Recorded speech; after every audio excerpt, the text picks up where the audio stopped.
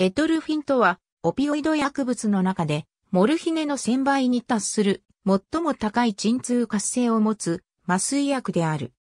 1963年にエディンバラにあるマクファーラン、スミス紹介のケニス・ベントリー、教授研究グループによって発見された。象、牛、虎などの大型動物用の不動火薬として、アセプロマジンと組み合わせて、麻酔銃などに入れて使われている。モルヒネなどと同様にナロキソンが拮抗薬となるのでエトルフィンを麻酔銃で使用する場合には解毒剤として用意しておく必要がある。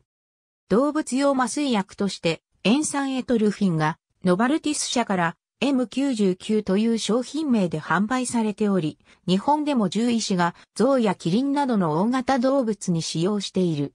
また、動物を安楽死させるための薬として使用されることもある。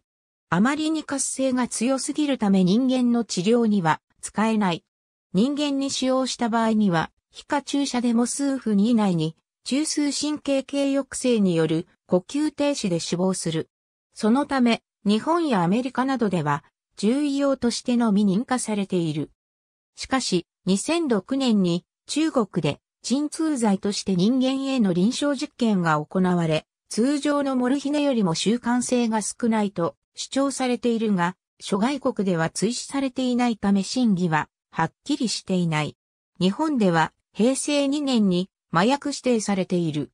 薬理教室文、監修、使いありえない理科の教科書、ファイク、152から155ページ参照。ありがとうございます。